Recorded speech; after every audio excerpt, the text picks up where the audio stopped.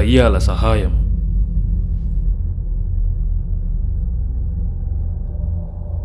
దయాళ్ ఆహారప్రియుడు కానీ ఆదాయం పరిమితం.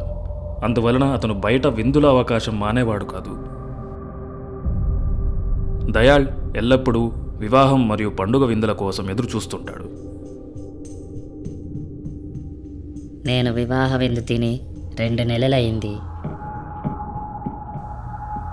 ఒకరోజు దయాళ్ తన ఇంటి ముందు కొంతమంది సంగీతకారులు మాటలు విన్నాడు. మనకు పొరుగు గ్రామంలో ఒక సంగీత ఒప్పందం వచ్చింది. సిద్ధమవ్వండి. భూస్వామి యొక్క కుమారుడు పెళ్ళి. మూడు రోజులు ఉంటుంది మనం అక్కడే ఉండాలి. భలే. మంచి మరియు రుచికరమైన ఆహారం పొందుతాము. ఒక వివాహం విందు హాజరయ్యి చాలా కాలమైంది. నేను కూడా వెళ్తాను. పెళ్ళి కూతురు వైపు వాళ్ళు నన్ను వరుడు బంధువు అని భావిస్తారు. వరుడు వైపు వాళ్ళు నేను పెళ్ళి కూతురు బంధువు అని అనుకుంటారు. పర్లేదు.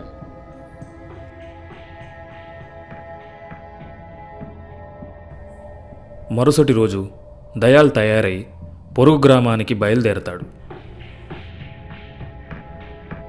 దయాళ్ సగం దూరం చేరుకునే సమయానికి సాయంత్రం అవుతుంది.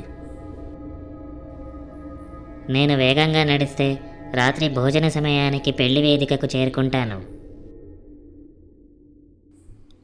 అతను నడుస్తున్న సమయంలో ఆహారం మిఠాయిల గురించి ఆలోచిస్తున్నాడు. హఠాత్తుగా ఒక దయ్యం అతని ముందు కనిపిస్తుంది.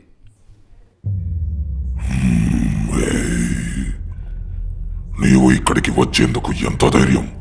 తిరిగి వెళ్ళా. దేవుడా దేవుడా విందు కంటే నా ప్రాణాలు ముఖ్యం. వెనక్కి వెళ్ళిపోతా. నాలుగు దయ్యాలు కనిపించి దయ్యాల్ని భయపెట్టాయి. భయంతో తన ఇంటికి పరిగెత్తడం మొదలుపెట్టాడు. మళ్ళీ ఈ విధంగా ఈ వైపుకు రాకు. దయాల్ తొందరగా నడిచినప్పటికీ అతను ఇంటికి చేరుకునే సమయానికి ఉదయం అయింది దయాల్ భయపడ్డాడు మరియు అలసటతో ఉన్నాడు. అతను తన ఇంటికి చేరుకున్న వెంటనే ముంగిట స్పృహ కోల్పోయాడు. గ్రామస్తులు చూసి డాక్టర్ను పిలిపించారు. దయాల్ దయాల్ ఏం జరిగింది? దయ్యం దయ్యం. దయాల్ జరిగిన విషయం అంతా డాక్టర్కి చెప్తాడు.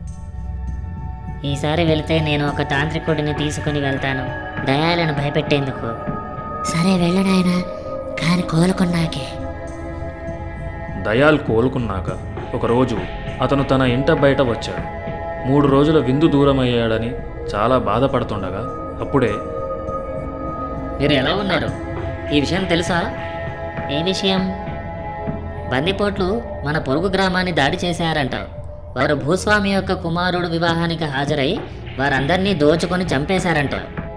ఏం హత్యే? దేవుడా? ఓ. అవును. దయాల్ షాక్లో ఇంటికి తిరిగి వెళ్తాడు. నేను ఆ సాయంకాలం అక్కడికి చేరి ఉంటే అమ్మో ఆ దయ్యాలు నిజానికి నాకు సహాయపడినవి మరియు నా ప్రాణాన్నే కాపాడాయి. అయ్యో ఎంత బాధాకరం. ఆ బందిపోట్లు వారి ప్రయోజనం కోసం ప్రజలను హత్య చేశారు. మరియు దయ్యాలు నా జీవితం కాపాడాయి.